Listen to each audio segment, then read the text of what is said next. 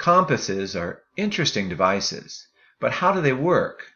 Let's take a closer look. Here you see a wet compass made using simple materials. By rubbing a magnet 30 or 40 times against a needle, the needle becomes magnetized and will point toward the North Pole. The reason a compass works is because, just like a permanent magnet, all of the electrical charges in the needle line up in the same way, which increases the force of magnetism on the needle. The magnetized needle is light enough and balanced enough to be sensitive to Earth's magnetic fields that surround us every day.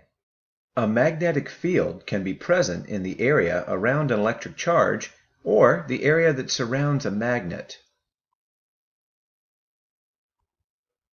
It can cover an area too small to see or an area so big that it spans a galaxy. Either way, it's an area where a magnetic force is present.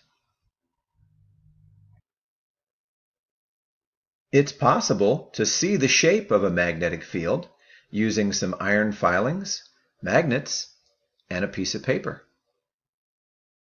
The Earth is a very large magnet. Just like all magnets, it has a north and south pole.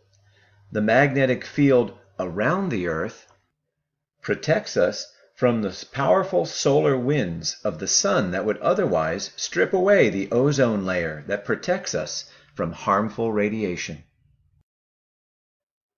A compass is designed to interact with the magnetic field of the Earth. The magnetized needle lines up with Earth's invisible magnetic fields. Since opposite poles attract, the north-seeking magnetic pole of the compass needle is oppositely charged with the north magnetic pole of the Earth.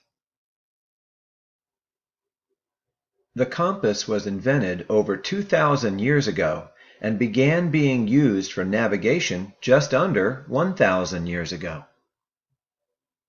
Many improvements have been made to compass navigation over the years for both water and on land. Today's compasses have numbers from 0 to 360 degrees to represent all of the degrees in a circle. Say you want to travel a short distance in a near northwest direction with a basic compass and degrees as your guide. First, set your compass so that the north needle and zero degrees line up.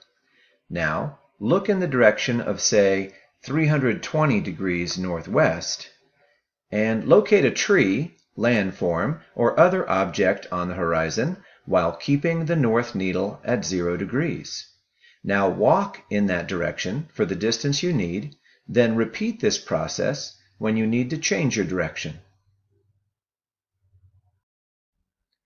So there you go.